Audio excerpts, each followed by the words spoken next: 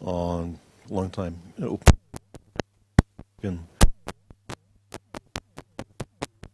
I think he'll introduce himself as well.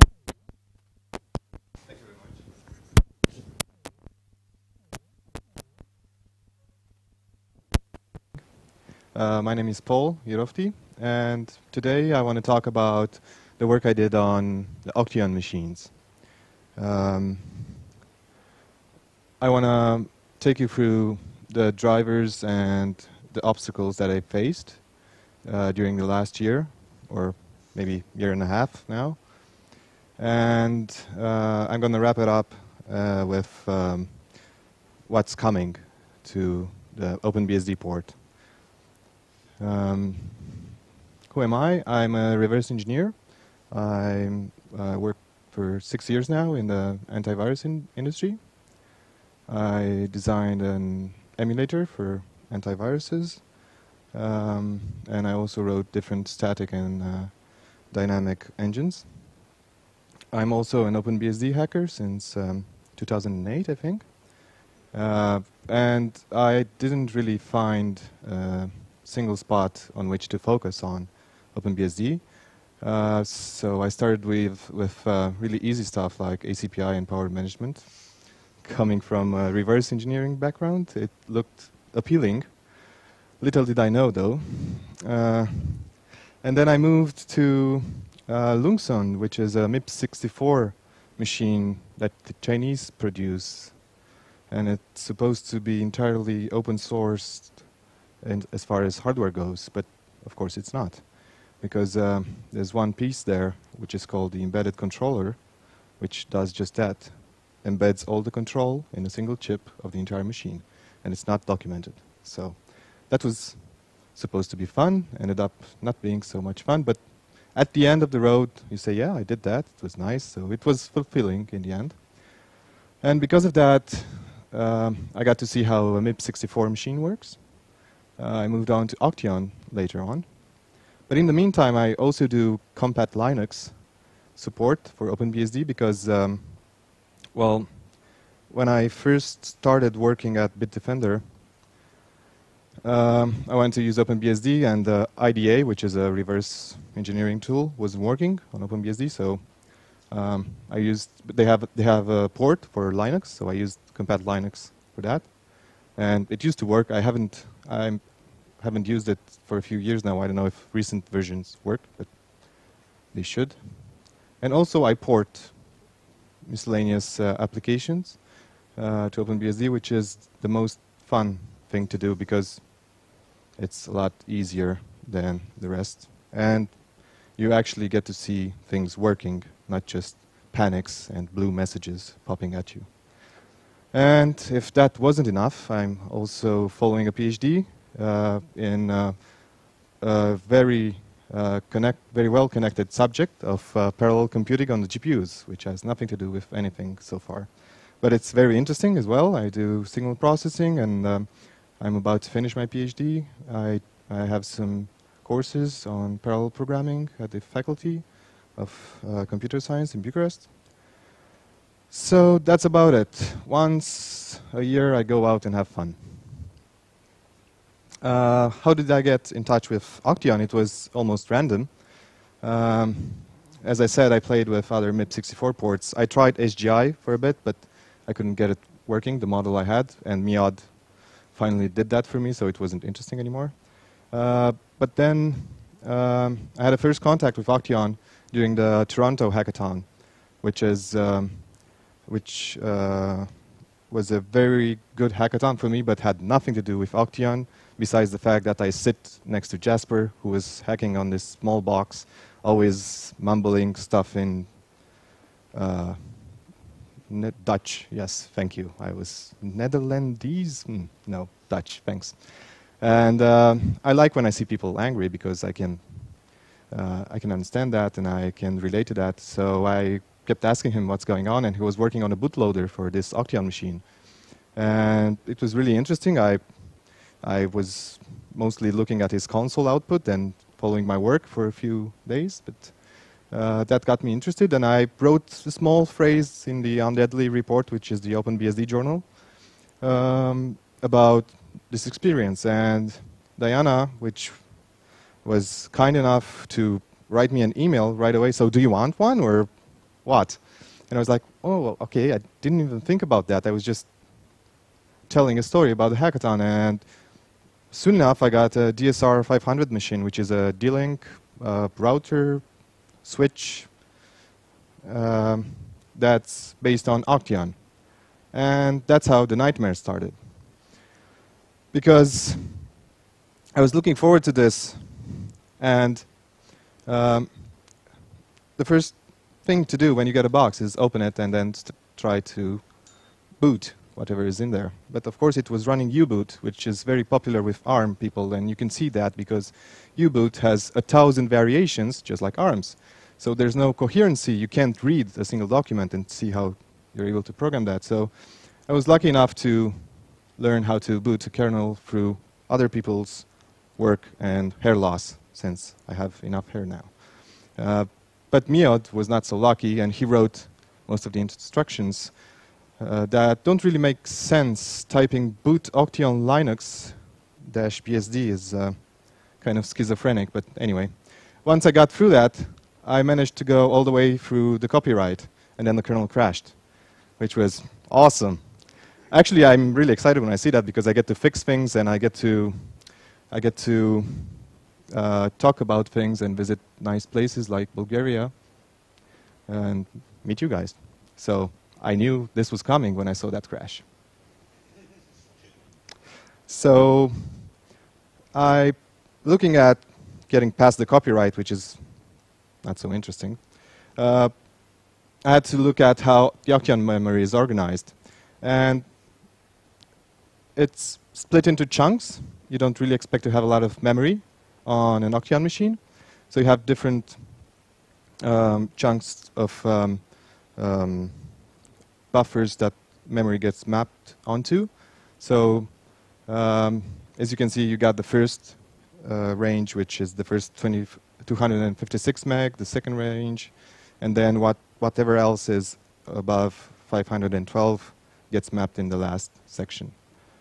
But my DSR 500 had 128 meg, and nobody expected that because we're in 2010 plus.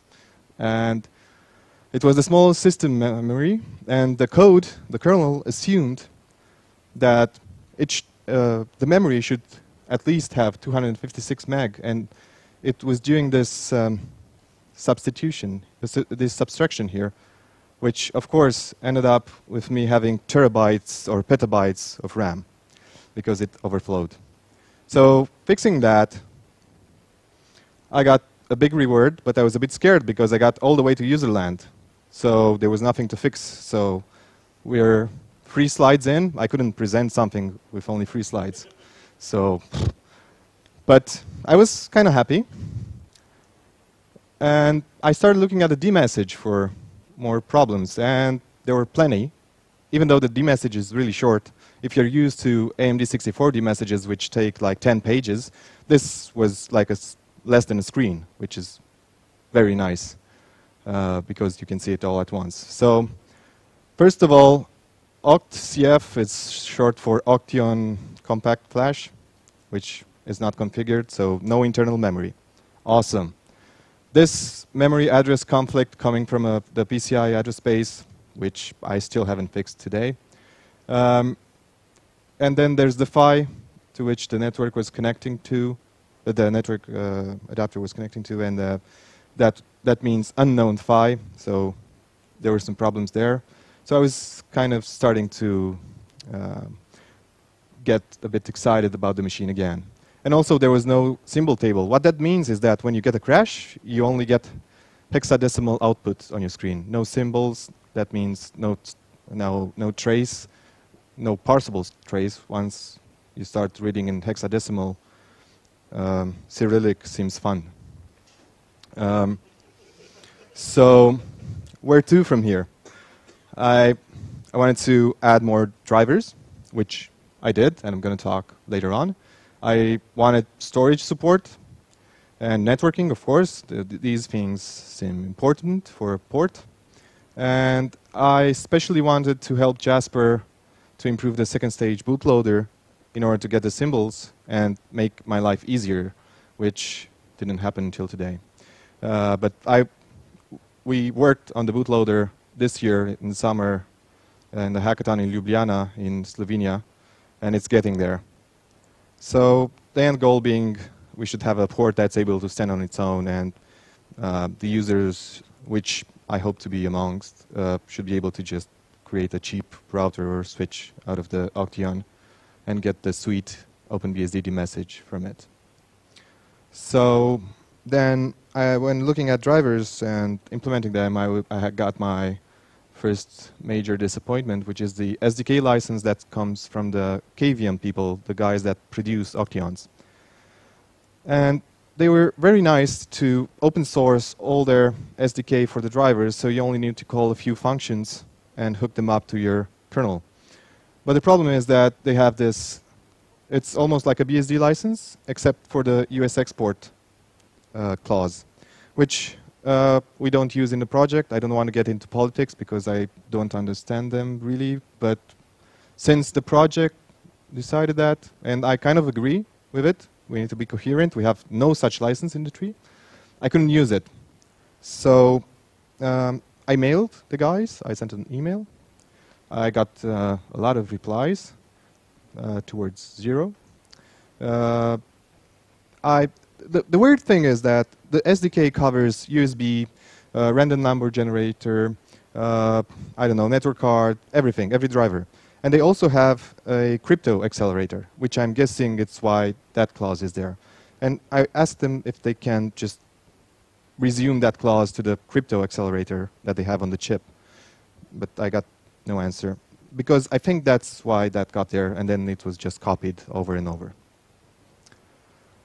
So I wanted to start with a simple driver because uh, I wanted to see how um, the registers look and how how I um, could use the Octeon without the SDK.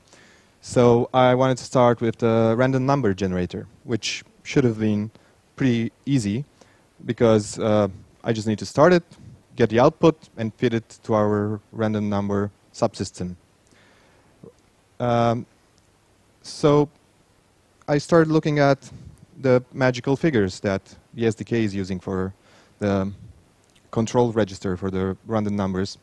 And it's as easy as I expected. You just uh, read the control register, make sure you set up the output, you set the output at the entropy flag, and just after you write it back, you should get randomness from there on. So you just do this once during boot. So the numbers are written in the entropy register, which is different from the control one.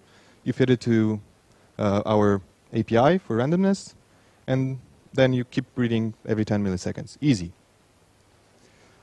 The obstacles I faced, this was actually the driver that took uh, most of my time, I think, uh, was because of endianness. So the register addresses are written in a different endian in in uh, the SDK than in than what you're supposed to feed there to, to feed to the uh, control register. So if you want to um, do an actual read and access register, you're supposed to flip all the bits because that's why. I don't know why. so uh, besides that, there was a read after write required whenever you set the control register, just to make sure it was actually written there, which is not uncommon, but still, for something as simple as that, I didn't expect. And another, when I finally got the driver, I was feeding 8 bytes of data, but I was uh, told that only 4 are needed to be fed to the random subsystem, which you can ask Theo why tomorrow during his talk. Moving on, I, I, I got a message every time I did NFS boot, which is really annoying because it's in caps and uh, you know IRC culture. You get uh, bleeding eyes when you see caps. So I want to get rid of that. So because we didn't have a clock, we only used the file system to get the time of day clock. And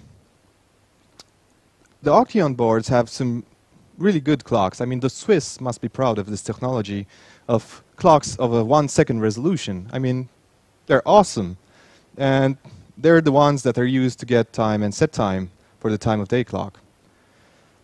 Uh, if that wasn't scary enough, in order to get to the clock, you need to use a two-wire serial interface, which is a twisted way of uh, getting across to different devices. So you get stuff like um, an internal address of that uh, serial interface, and you get uh, nice things like um, a read bit, which needs to be checked if the serial interface actually read what you told it to read, and all kinds. The valid bit, it's it's very stable and robust, and you get like all this 32-bit metadata just to write 32 bits, which in the case of the RTC clock is even less.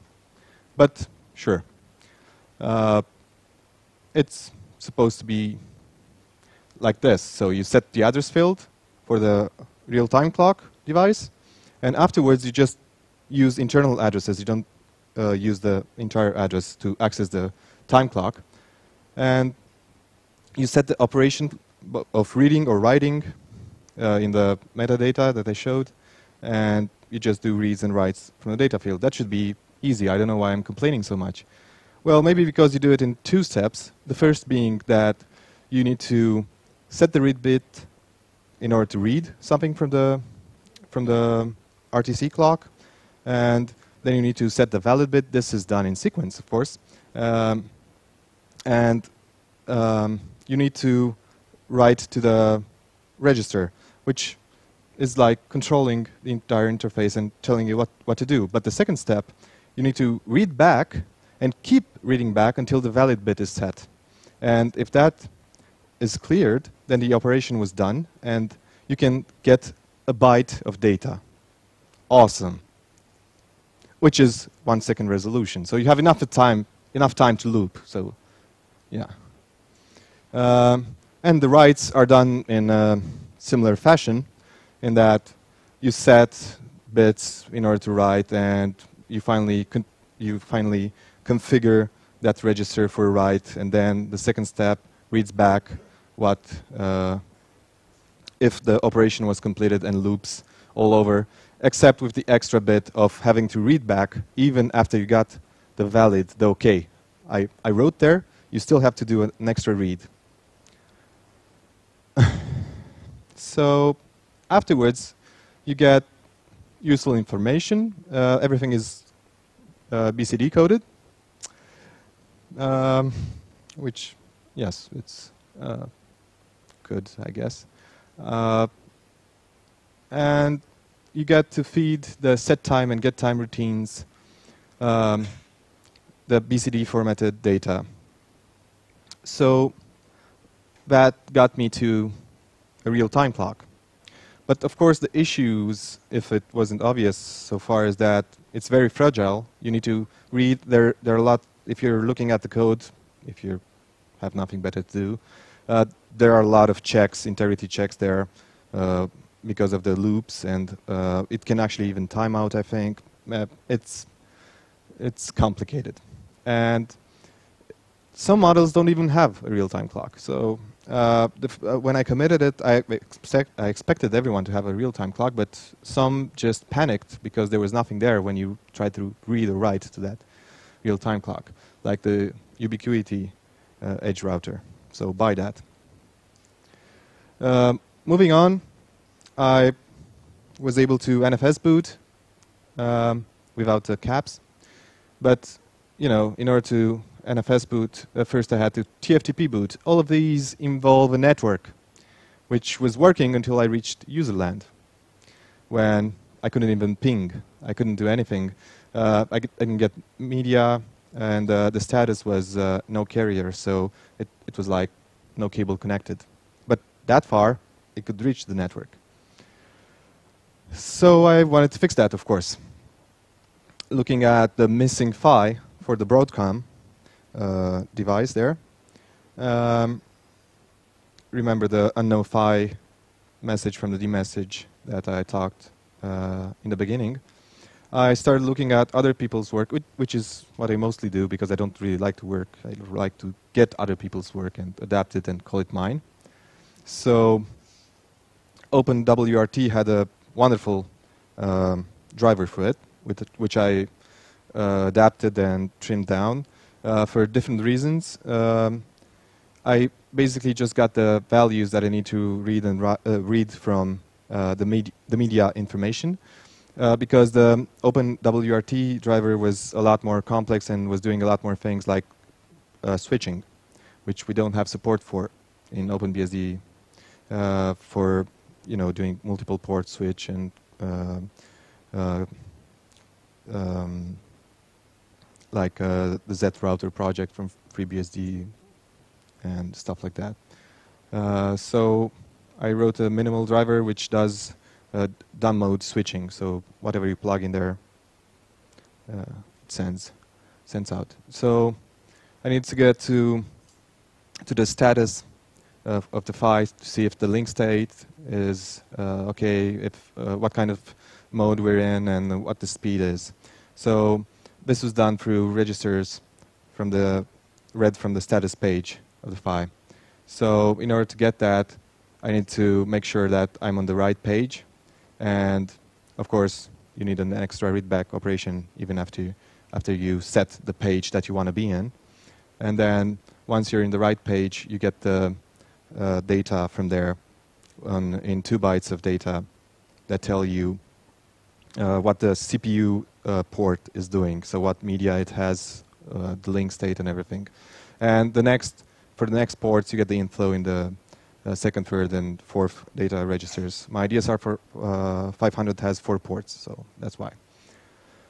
So after that, I got media uh, right here, and I could ping. So network was working, which is really nice to have on a router.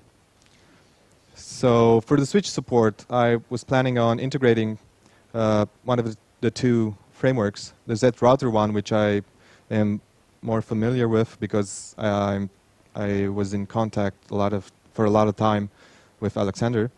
And there's also the IIJ solution, the IIJ people from uh, Japan. Um, they ha have a commercial support for the Octeon based on OpenBSD, and they open sourced a solution for the switch framework, uh, which I tried to uh, integrate into OpenBSD during the Ljubljana hackathon this summer, but um, the guy developing that was very busy and um, didn't have we couldn't sync in order to um, discuss integrating it. Moving on, the hardest part is the USB support because the compact flash, even if you even even if you have a driver for it, it's like 32 meg. So the Z router people are stripping down FreeBSD in order to fit in that compact flash. And then they have USB support for the Cavium SDK, so you can add extra storage. Um, so there's that driver. And then there's the IIJ driver, which they also open source, but they only work for the 3000 models of the Cavium machines, and um, it's also very specific to their uh, to the machine that they sell, and it's not really working on uh, the machines that we support. And then there's my driver, which I finally got to a point where it no longer fries sticks. I managed to fry like four or five memory sticks with it, with a small spark coming out of it when I plugged them in. That was lovely. Um, so um, I'm going to talk about that wonderful implementation I did. Um, I started by doing the machine-specific, the host controller-specific initial, initialization uh, routines which is a clock setup, core setup, DMA, and setting up a proper interrupt. And this was uh, pretty much uh, stealing magical uh, values from the SDK or looking at what the IIJ people did. It's always a mix, so I always had like uh, four or five virtual screens with uh, to their code. Um, and once I did that, I managed to get an attachment so um, the Oct Octeon host controller was attaching to USB 0, which uh, I know doesn't sound like much, but to me it was a glorious day. And um, I even got some error messages, so more work, awesome. So I wanted to fix those. And the first thing was to add an interrupt routine, which is um, um, it's it's really easy to start with. You just add bits of pieces there, and but the memory sticks keep frying whenever you think you're making progress. So uh, the best thing I, I did was uh, look at both implementations and make a and I was able to make a coherent um, interrupt routine that looks if you open other host controller drivers in OpenBSD, they're going to look the same, and you're going to spot the machine-specific bits when looking at the two in parallel. So I think that's nice. Uh, even if I have an accident or whatever, uh, MPI can come over and finish the driver for me. Uh, so, oh, by the way, I never looked at USB before this. So um, this was also a very nice experience to uh, start learning about a different uh, layer and um, MPI, which is uh, USB master nowadays in OpenBSD, was very kind to uh, answer my ridiculous questions. So after I, I've, I've, I've uh, finished the interrupt routine, or so I thought, I keep adding code to it, I got a proper dmesg without those errors. That doesn't mean that it was working, it just the messages went away. So uh, I moved on to uh, um, adding root hub support, which is um, like uh, like the media support for the PHY. You you start notifying people about what's happening in your uh, hub, which is um, the status. You get the scripter of uh, the requests that are uh, sent to the hub, um, and um, also fixing the USB 2 descriptors because you have to register the host controller as a USB 2 controller, fixing those and acknowledging the fact that I was getting commands from outside helped fix the frying problem. So I was able to plug in things without sparks and um, I was able to use the devices afterwards. So this was, I'm not sure if it was progress though, because uh, some people offered money for the driver before just to be able to make pranks on 1st of April to people. and uh, but uh, in my point of view, it was progress because now the USB port was doing the same thing as before, nothing. You plug in a device and you get nothing back. You pull it out and it still works. So back to uh, base, back to the basis. Um, and then in order to actually get something out of the USB uh, host controller, I started adding uh, more support for USB ports and the endpoints. Of course, they call end endpoints channels. That took me a long time to figure out. I was like, channels, what's that? I was asking MPI, do you know a channel definition in the USB specification? No, what's a channel? So that was fun changing that name. Thank you. So um, these allowed me to keep track of when you connect to a port or when you do a port reset. Um, and I was able to send notifications upstream, uh, upstream about what was going on. And this actually moved things further, as nowad- nowadays I need to implement um, device uh, transfer and control methods, which in terms of um, uh, the actual devices means that I need to start sending data through, so the control is almost there. Because um, to give a large picture, I, the green things are things that are done, and the blue things is what I'm working on, and the red is what's missing. So uh, you might think it's half and half, but you're being overly optimistic. It's just so that I can show that I did something. It's this will take a lot of time, and it's very sensible work here. But uh, at least it's not destroying devices, and it's um, you're able to actually see how things are moving in a USB stack, uh, and not getting panics, just not moving data or not detecting uh, the proper the proper events. So this is uh, the point where I where where I am today. Um, as I was saying, the boss the boss methods are done and the hub routines should be okayish now. So I'm moving on to devices. Um, so the major showstoppers, because I'm working on this for a while now, is the SDK, which would have the SDK is like two function calls and you're done. You have a host controller. Nice, right? And uh, um, the fact that the SDK and the IIJ code is very different and they, they actually set registers in a different way and in a different order and it's a lot of guesswork and poking and going back to reverse engineering. And um, uh, USB is really hard. I mean, like the spec is hard enough, and doing it without the proper documentation is even harder. And the time requirements are really high, and I can't. I'm one of the people that need to focus on a task for at least four hours in order to get something done. I can't just work for an hour in the evening after I'm done with regular work on the USB because I need to get in there and remember where I left off and start thinking about the magical values in this part of the world. So um, progress is slow because of that. Moving on to the flash memory, I started working on that as well as um, time off from the USB layer, um, which is uh, it's supposed to be really easy to implement. Uh, it's a compact flash after, after all. The FreeBSD, FreeBSD has a driver for it that's going through CFI. Um, and I, I to get the code from there.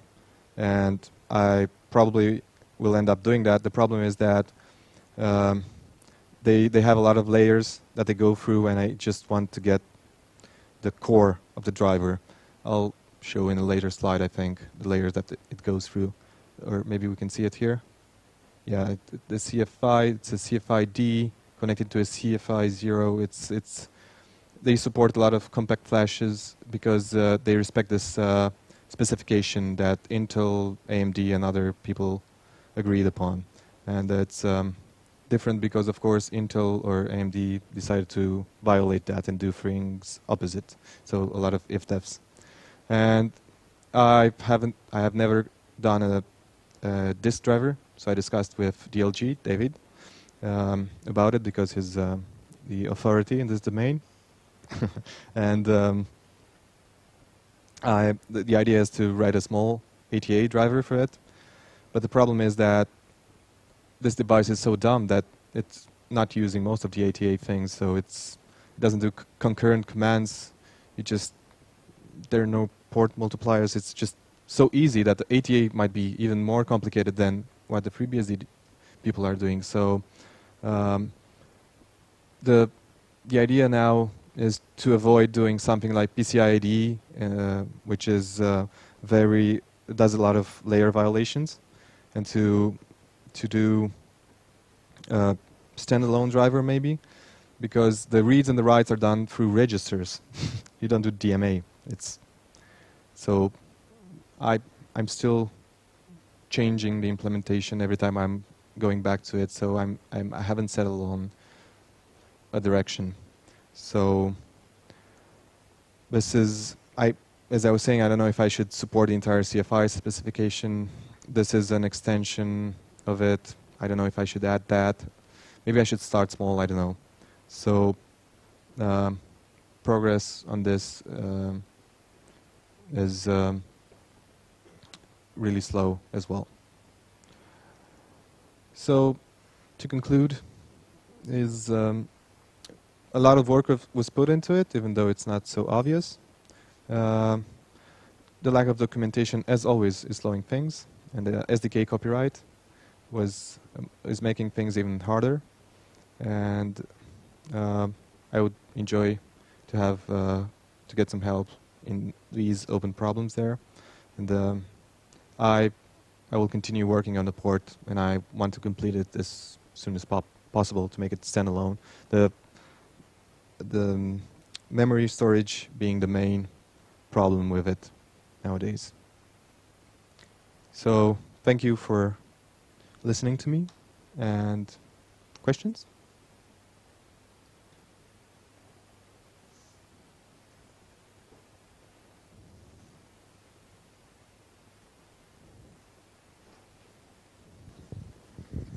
This um, thing where you had to loop over the real-time clock just to, to be able to Mhm. write one byte and wait for the valid bit to, to change value. How many times do you have to loop over that before it, it actually accepts what you're trying to tell it? I haven't. I, I measured it a few times, and it wasn't that bad actually. I mean, uh, it seems that it's rarely occurring. Uh, the problem there, you always get it the first time, most of the times. But Okay. sometimes you can get like three or four uh, uh, iterations before being Oh, able but to. There was no, But that's no crazy rare. amounts like 10,000. No, no, no. It's uh, not that bad, but it's yeah, it's tricky. Yeah.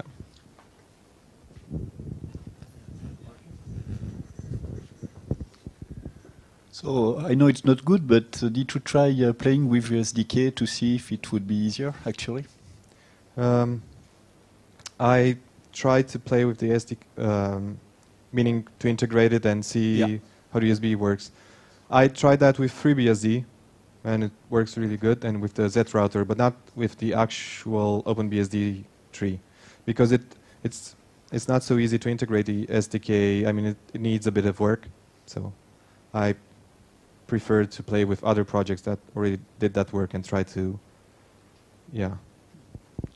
I'm Well, it can give you some pointers so that you don't have to reverse engineer everything. Yeah, no, I'm I'm I'm looking at the SDK and I'm I'm helping myself there from there with uh, different values and stuff. But the logic, it's really like it's uh, the abstraction they use is very deep. So you have to, in order to read the register, you go through like ten or twelve functions until you actually do the read operation because they call it from different places and different drivers, and that makes sense for them. So integrating that into OpenBSD would be would take a bit of time. It's not impossible, and I know that it won't get committed because of that license. Of course. Yeah.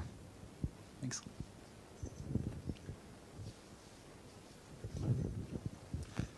How finicky is the hardware that you are working with to debug? Does it have a convenient serial console? Or Yes, it has a serial console, which is like serial, not uh, JTAG or whatever. So did, did you, no soldering necessary? No, you Okay. just buy it and you plug it in. And there was the there was the D-Link that you were working with. Yes, D-Link, DSR 500, but I think the others are the same. I'm, I don't remember anyone having to solder a serial, but I might be wrong. Yep. And it actually comes up as a PHY as well, the serial, because you get a, like a network cable on one end and on the other, the actual serial cable. It's, yeah, works on the fly.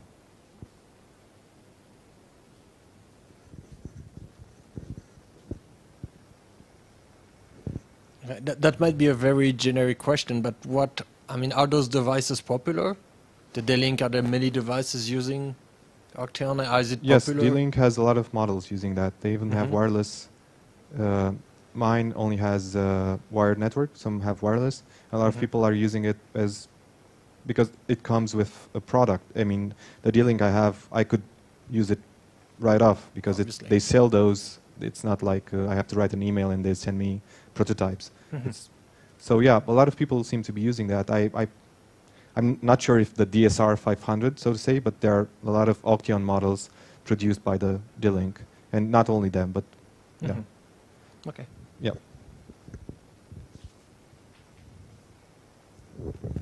I think Claudio. So uh, can we use these devices for like firewalls and stuff already, or is it not really good? That's what I want to do. Um, I have a server that's running since 1996 or 1997, and I wanted to. Once I got this, I wanted to do the the PF thing on it, and I I didn't uh, test with OpenBSD, but FreeBSD works. Yeah, sure. Yeah. But they're using the SDK, so I don't know if the PHY needs further work or maybe some. But yeah, looking at the OpenWRT driver, we have most of the things there. So I I haven't tested with OpenBSD for like actual performance, but then I only run a home server, so I don't. I'm not the speed junkie. Yep. So Yeah. you don't know how fast it is. No, I don't know that. Uh, but you should ask jmatthew or DLG, I know they, they experimented stuff on them, and they're because they they're building the infrastructure at the university.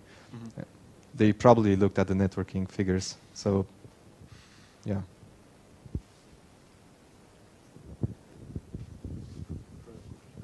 Further questions? We still have time, as far as I can tell. So, uh,